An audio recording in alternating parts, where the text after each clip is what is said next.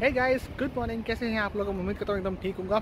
हम तो जैसे आप लोगों ने टाइटल में पढ़ लिया होगा तो मैं जा रहा हूँ फ्रेंच सीखने के लिए। दो साल हो गए, आप लोग सोचेंगे अभी तक सीखा नहीं।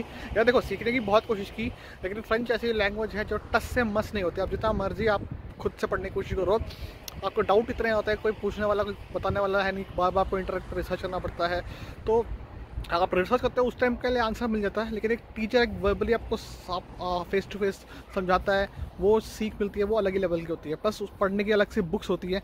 तो ऑनलाइन आप जितना भी कर लो, एक बुक्स में जो हाथ में रख के पढ़ने का फील होता है ना, वो आप ऑनलाइन कंप्यूटर में बैठ के इतना, जितना मर्ज़ी पढ़ने की कोशिश करो, आप आप इरीटेट हो जाओगे। तो जैसे मैं आगे बताता हूँ फ्रेंच सीखना क्यों ज़रूरी है? एक बहुत इंपॉर्टेंट एसेट है। आपको वीडियो के एंड में पता चलेगा। फ़िलहाल मैं खड़ा हूँ ट्रेन स्टेशन पे। थैंकफुली आज ज़्यादा स्ट्राइक नहीं है क्योंकि कल स्ट्राइक है मे फ़र्स्ट है। स्ट्राइक के बिना तो यहाँ ज़िंदगी चलती नहीं है।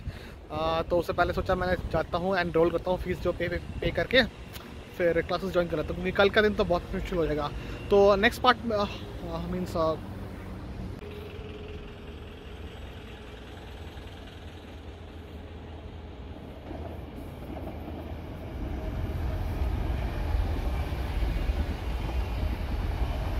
तो जैसा कि आप देख सकते हैं, यहाँ से बहुत सारी पासिंग ट्रेन गुजर रही है। उसका रीज़न ये है, जैसे मैंने पहले भी पिछली वीडियो में बताया कि मेरा जो घर है, एक छोटा सा कम्यून में है वित्री सरसैन गाँव का तो यहाँ पे बहुत सारी ट्रेनें पास होती हैं रुकने वाली ट्रेनें कम हैं। तो हम फ़िलहाल वेट कर रहे हैं अपनी ट्रेन का, और जैसी आएगी फिर हम बैठ के चलेंगे।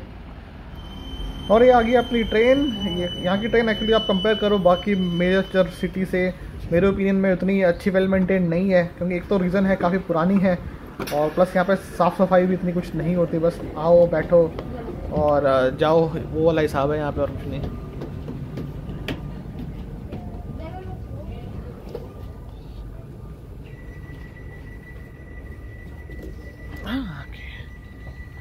खैर, अब जैसे भी ट्रेन जैसे भी हो, लेकिन जर्नी बहुत कंफर्टेबल है। आप सामने बगल में देख सकते हैं, एक और ट्रेन पैरेलल निकल रही है। ये है एक्सप्रेस ट्रेन टाइप ये बड़े बड़े स्टेशनों पर रुकती है। हमारी है लोकल हमारी ट्रेन हर जगह रुक रुक के जाती है। बट पैरल रन एक्शन हो रहा है, बहुत अच्छा लग रहा है पैरेलल एक्शन मैंने फ़र्स्ट टाइम शायद यहाँ देख रहा हूँ पैरेलल एक्शन यहाँ पे।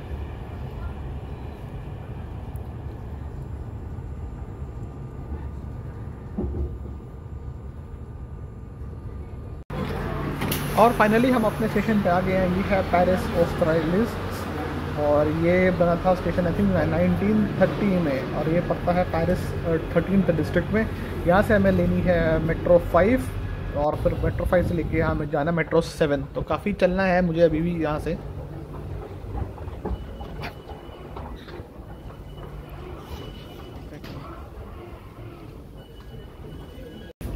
पेरिस में एक चीज़ ध्यान रखें, चाहे संडे हो, छुट्टी हो, मेट्रो में हमेशा आप हलचल बनी रहेगी। आप देखो, ये मेट्रो बहुत कंफर्टेबल है, हर जगह फैली हुई है, और इनफैक्ट लेट भी नहीं होती। जो ट्रेन कंपेयर्ड है बसेस है, थोड़ा लेट चलती है, लेकिन मेट्रो हमेशा ऑन टाइम रहती है।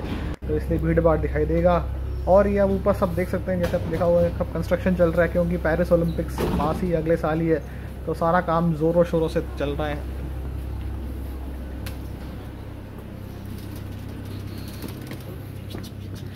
और एक बहुत ही रोचक चीज़ आपको पेरिस मेट्रो में दिखाई देखिए यहाँ पे एक से बढ़कर एक कलाकार दिखेंगे। यहाँ पे अगर आपको जो भीख मांगना है उनका भी अलग स्टाइल है। कुछ लोग आपको ऐसे लाइव जैसे ये मेरा भाई कर रहा है एंटरटेनमेंट ऐसे डांस वांस करके दिखाएँगे। और बहुत अच्छा एंटरटेनमेंट रहता है पेरिस मेट्रो में जो कि शायद मुझे कहीं और मेट्रो में शायद नहीं दिखा। आ, तो फाइनल मेट्रो सेवन ये हमारा स्टेशन है क्रिमे इंग्लिश में इसको बोलते हैं क्राइमिया और इससे दो स्टेशन पहले पड़ता है स्टेलिन तो ऐसा लगेगा कि आप भाई साहब रशिया के आसपास एरिया में ही घूम रहे हो। और नाम सारे रशियन नाम हैं सारे।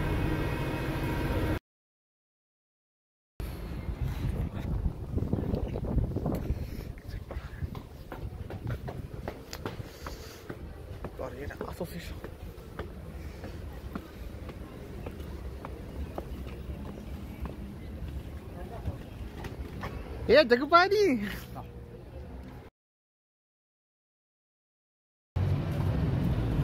तो फाइनली हमने रजिस्टर तो सब कुछ कर लिया और इतने टाइम में बहुत ज़्यादा भूख लगी तो मैंने सोचा कुछ नई लोकेशन जाते हैं, क्योंकि हम हमेशा गार्डन रोड या फिर उसके एरिया में जाते हैं। तो मैं रैंडमली इसे सर्च किया इंटरनेट पे कि बेस्ट साउथ इंडियन फ़ूड तो एक नया लोकेशन में दिखा।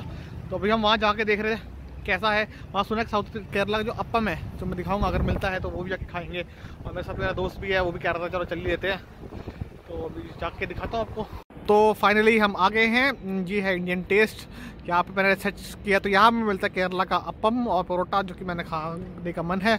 और इसके आसपास देखो भर भर के इंडियन रेस्टोरेंट सब कुछ है। ये भी एक तरह का छोटा गार्डन ओडी है, आप लगा लो लिटिल इंडिया बट इतनी भर की तादाद में नहीं है। जैसे नॉर्मल पुराने वीडियोस हमेशा मैं चेक कर ले मैं लिंक डाल दूँ डिस्क्रिप्शन में। जहाँ आपको देखा हर कोने पे, हर जगह इंडियन फ़ूड या पाकिस्तानी फ़ूड मिलेगा। और ये सामने से ट्रेन स्टेशन है। यहाँ से टीजीवी जो हाई स्पीड ट्रेन जो लियो के लिए सब जाती है और इस साइड शायद थोड़ा वो है, कुछ ना कुछ ये भी ओल्ड ब्रिज मार्शे है आपका। तो ऑल इन ऑल अच्छा है, मैं जब ज़्यादा जाता हूँ रेस्टोरेंट के अंदर खा के आपको रेस्टोरेंट के अंडर का व्यू दिखाता हूँ। तो इस रेस्टोरेंट की खासियत मैंने काफ़ी दोस्तों से सुना है। साउथ इंडियन तो है ही लेकिन केरला जो अपम है जैसे जिन लोगों को पता नहीं वो वाइट कलर का एक आ, आ, वो ब्रेड मिलता है अब एक जैसे रोटी टाइप होती है वो बहुत मशहूर है पे। तो मैं तो अपम खाऊँगा और मेरा फ्रेंड साथ में शायद वो भी अपम ही खाएगा और बीच में परोठा भी लेंगे क्योंकि परोठा भी परोटा और अपम केरला की बहुत बड़ी डेलिकेसीज हैं काफ़ी फेवरेट है लोगों के। तो हम इसको मज़ा उठाते हैं।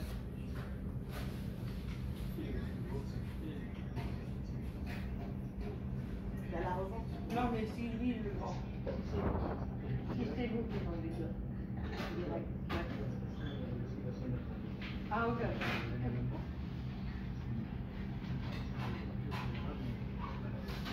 Non, monsieur. दिन खत्म होने से पहले आपको बता देता हूँ कि यार आज तो सिस्टर का बर्थडे है।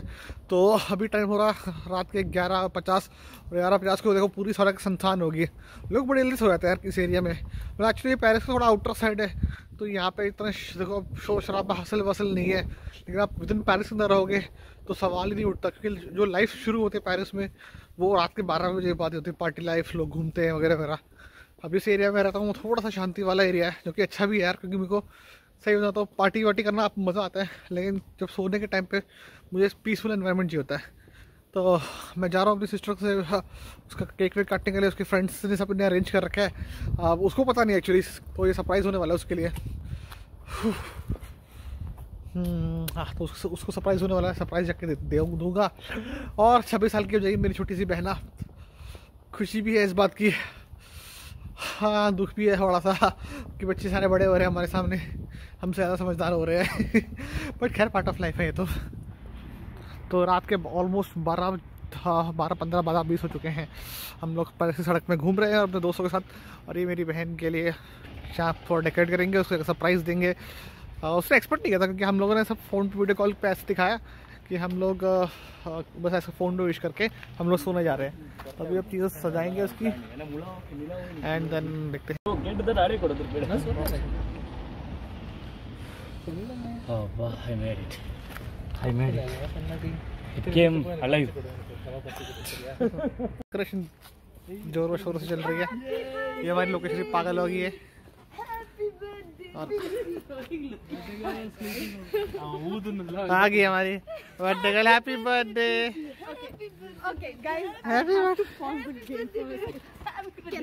Happy birthday to you.